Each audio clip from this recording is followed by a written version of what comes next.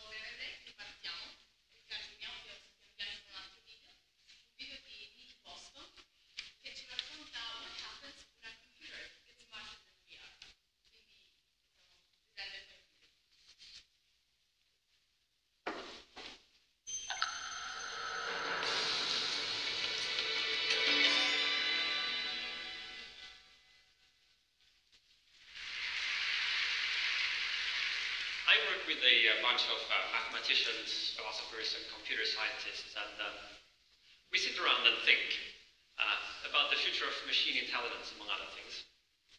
Some people think that some of these things are sort of science fiction, far out there, crazy. But I like to say, okay, let's look at the modern human condition. This is the normal way for things to be. But um, if we think about it, we're actually recently arrived guests on this planet. The human species, well, like, think about if the world like was created, Earth was created one year ago. The human species then would be 10 minutes old. The industrial era started two seconds ago. Another way to look at this is to think of world GDP over the last 10,000 years. I've actually taken the trouble to plot this It looks like this. It's a curious shape for a normal condition. I sure wouldn't want to sit on it. Now, let's ask ourselves, what is the cause of this current anomaly? Some people would say it's technology. Now, it's true. Um, technology has accumulated through human history, uh, and right now, technology advances extremely rapidly. That is the proximate cause. That's why we are currently so very productive. Um, but I like to think back further to the ultimate cause. Um, look at these two highly distinguished gentlemen. We have Kanzi, He's mastered 200 lexical tokens, an incredible feat. And Ed Witten unleashed the second superstring revolution. If we look under the hood, this is what we find. Basically the same thing. Right? One is a little larger. It maybe also has a few tricks in the exact way it's wired. These invisible differences cannot be too complicated, however, because there have only, only been 250,000 generations since our last common ancestor, and we know that complicated mechanisms take a long time to evolve. So, a bunch of relatively minor changes take us from Kanzi to Witten, from broken off tree branches to intercontinental ballistic missiles. So this then seems pretty obvious that everything we've achieved, pretty much, and everything we care about depends crucially on some relatively minor changes that made the human mind. And the corollary, of course, is that any further changes that could significantly change the substrate of thinking could have potentially enormous consequences. Some of my colleagues think we're on the verge of something that could cause a profound change in that substrate, and that is machine superintelligence. Like, artificial intelligence used to be about putting commands in a box. You would have human programmers that would painstakingly handcraft knowledge items. You build up these expert systems, and they were kind of useful for some purposes, but they were very brittle. They, you couldn't scale them. Basically, you got out only what you put in. Since then, a paradigm shift has taken place in the field of artificial intelligence. Today, the action is really around machine learning. So rather than handcrafting knowledge representations and, and features, we create uh, algorithms that learn, often from raw perceptual data. Uh, basically the same thing that the human infant does. The result is AI that is not limited to one domain. The same system can learn to translate between any pairs of languages, or learn to play any computer game at the uh, Atari console. Now, of course, AI is still nowhere near having the same powerful cross-domain ability to learn and plan as a human being has, Cortex still has some algorithmic tricks that we don't yet know how to match in machines. But so the question is, how far are we from being able to match those tricks?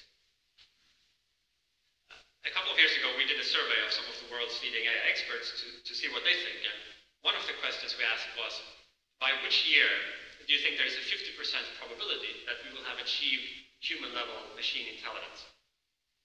We defined human level here as the ability to perform almost any job at least as well as an adult human, so real human level, not just within some limited domain. And the median answer was 2040 or 2050, depending on precisely which group of experts we asked. Processing in machine substrate lie far outside the limits in biological tissue. This comes down to physics. A biological neuron fires maybe at 200 hertz, 200 times a second. Even a present-day transistor operates at a gigahertz. Neurons propagate slowly in axons, 100 meters per second tops. But in computers, signals can travel at the speed of light. They're also size limitations, like a human has to fit, a human brain has to fit inside a cranium, but a computer can be the size of a warehouse or larger. So the potential for superintelligence kind of lies dormant in matter. Much like the power of the atom lies dormant uh, throughout human history, patiently waiting there until 1945. In this century, scientists may learn to awaken the power of artificial intelligence. And I think we might then see an intelligence explosion. Now, most people, when they think about what is smart and what is dumb, I think have in mind a picture roughly like this. So at one end we have sort of the village idiot, and then far over at the other side we have Ed Witten or Albert Einstein, whoever your favorite sort of guru is. But I think that from the point of view of artificial intelligence, the true picture is actually probably more like this. AI starts out at this point here, at zero intelligence, and then after many, many years of really hard work, maybe eventually we get to mouse level artificial intelligence, something that can navigate cluttered environments as well as a mouse can. And then, after many, many more years maybe eventually we get to chimpanzee level artificial intelligence. And then, after even more years of really, really hard work, we get to village idiot artificial intelligence. And a few moments later, we are beyond Ed Witten. The train doesn't stop at Humanville Station. It's likely rather to swoosh right by. Now, this has profound implications, particularly when it comes to questions of power. For example, chimpanzees are strong. Pound for pound, a chimpanzee is about twice as strong as a fit human male. And yet, the fate of Kanzi and his pals now depends a lot more on what we humans do than on what the chimpanzees do themselves. Once there is superintelligence, the fate of humanity may depend on what the superintelligence does. Think about it. Machine intelligence is the last invention that humanity will ever need to make. The machines will then be better at inventing than we are and they'll be doing so on digital timescales.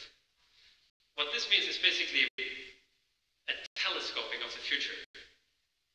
Think of all the crazy technologies that you could have imagined maybe humans could have developed in the fullness of time. So cures for aging, space colonization, self-replicating nanobots, or uploading of minds into computers.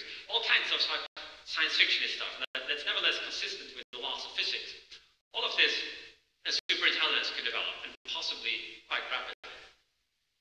Now, a superintelligence with such technological maturity would be extremely powerful. And at least in some scenarios, it would be able to get what it wants. We would then have a future that would be shaped by the preferences of this AI. Now, a good question is, what are those preferences? Here it gets tricky. To make any headway with this, we must first of all avoid anthropomorphizing. This is uh, ironic because every newspaper article about the future of AI has a picture of this. And so I think what we need to do is to conceive of the issue more abstractly, not in terms of vivid Hollywood scenarios. We need to think of intelligence as an optimization process, a process that steers the future into a particular set of configurations. A superintelligence is a really strong optimization process. It's extremely good at using available means to achieve a state in which its goal is realized. There's no necessary connection between being highly intelligent in this sense and having an objective that we humans would find worthwhile or meaningful. Suppose we give an AI the goal to make humans smile. When the AI is weak, it performs useful or amusing actions that cause its user to smile. When the AI becomes super intelligent, it realizes that there is a more effective way to achieve this goal. Take control of the world and like stick electrodes into the facial muscles of humans to cause constant beaming grins. Take another example. Suppose we give an AI the goal to solve a difficult mathematical problem. When the AI becomes super intelligent, it realizes that the most effective way to get the solution to this problem is by transforming the planet into a giant computer so as to increase its thinking capacity. And notice that this gives the AI an instrumental reason to do things to us that we might not approve of human beings. In this model are threats. We could prevent the mathematical problem from being solved.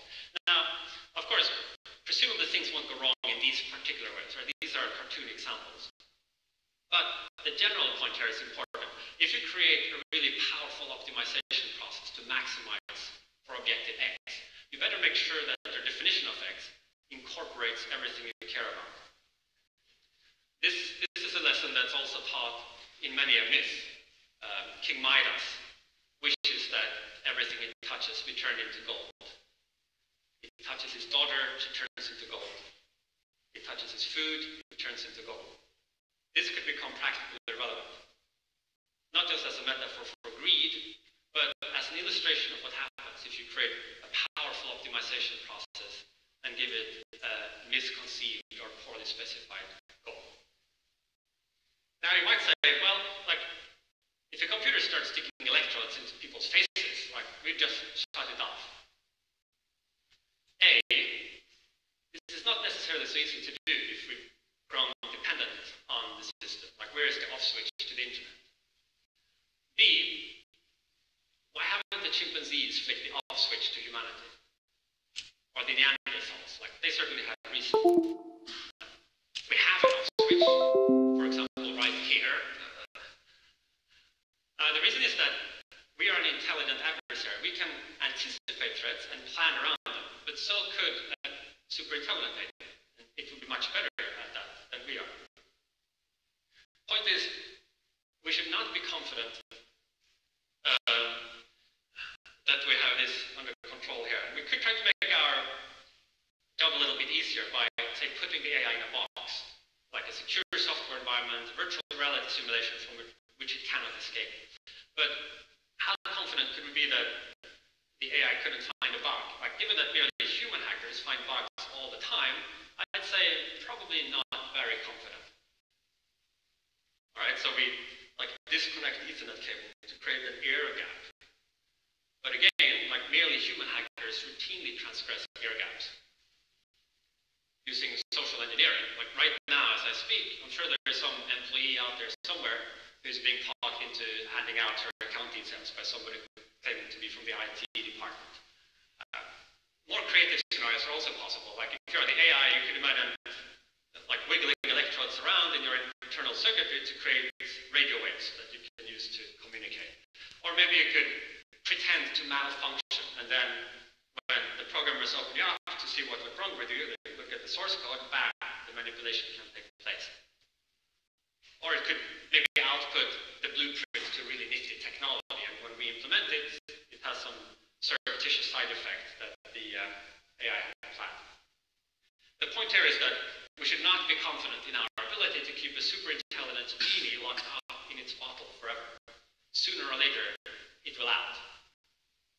I believe that the answer here is to figure out how to create super intelligent AI such that even if, when it escapes, it is still safe because it is fundamentally on our side, because it shares our values. I see no way around this difficult problem. Now, I'm actually fairly optimistic that this problem can be solved. Like, we wouldn't have to try to write down a long list of everything we care about, or, or worse yet, spell it out in some computer language like C++ or Python. That, that would be a task beyond hopeless. Instead, we would create an AI that uses this intelligence to learn what we value. And this motivation system is constructed in such a way that it is uh, motivated to pursue our values or to perform actions that it predicts that we would have approved of. We would thus leverage its intelligence as much as possible to solve the problem of value loading. This can happen, and the outcome could be very good for humanity. But it doesn't happen automatically. The initial conditions for the intelligent explosion might need to be set up in just the right way if we are to have a controlled detonation.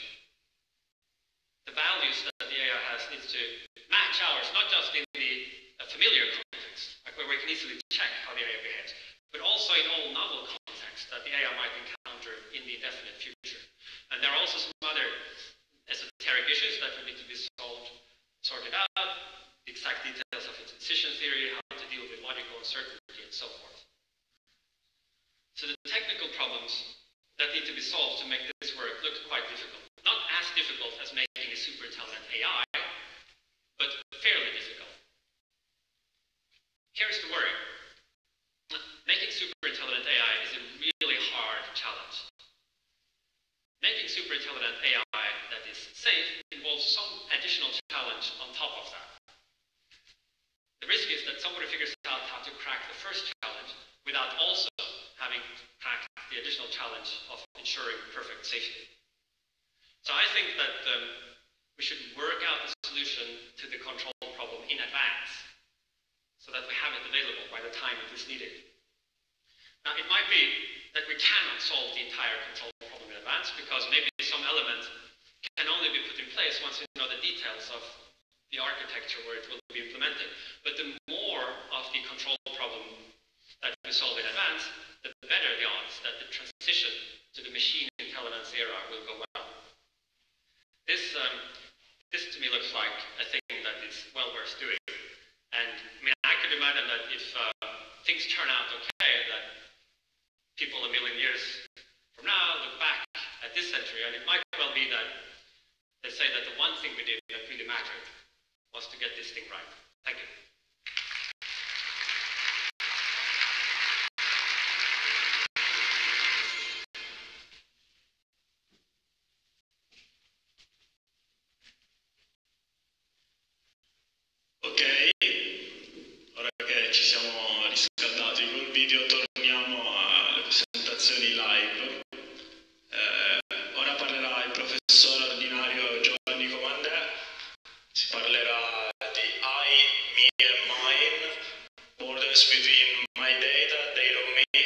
And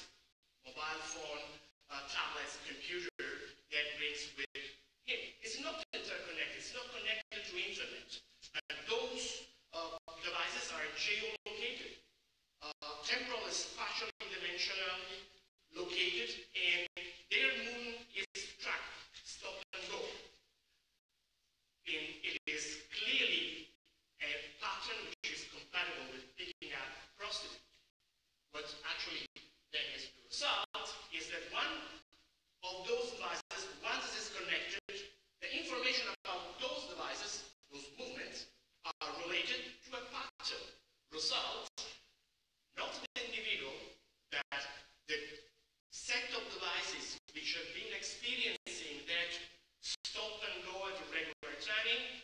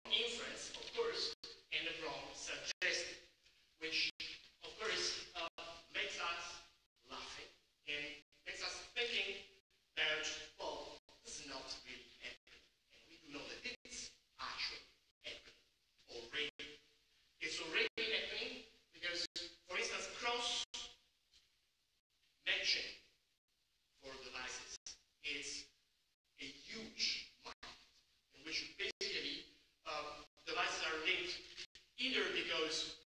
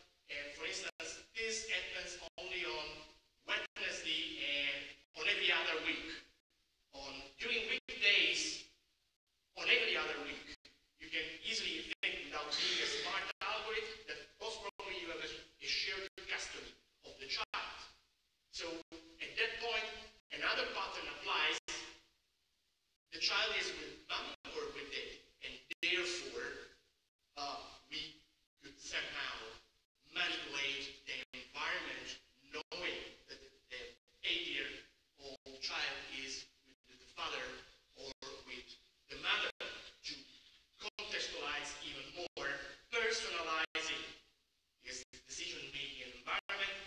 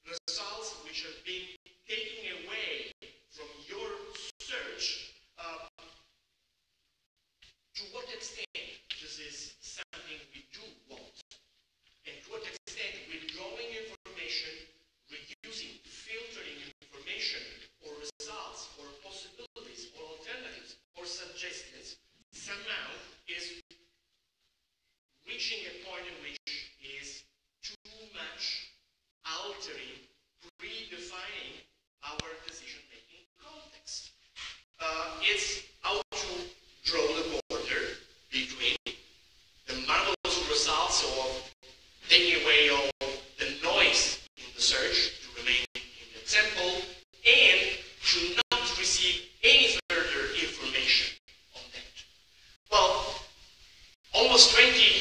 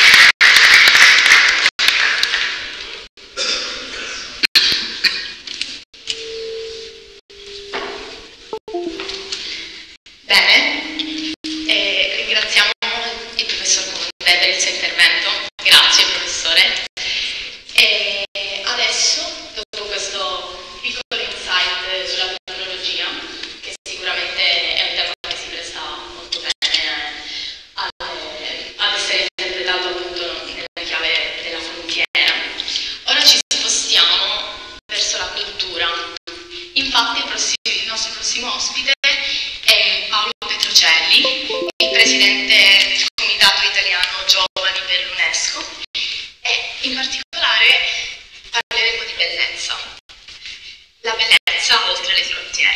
Infatti il titolo del suo intervento è proprio Beauty Beyond Frontiers. Accogliamo con grande piacere